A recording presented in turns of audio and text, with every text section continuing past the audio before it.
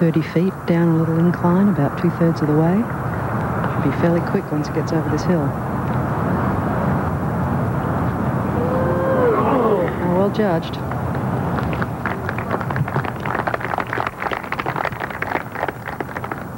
So Pak's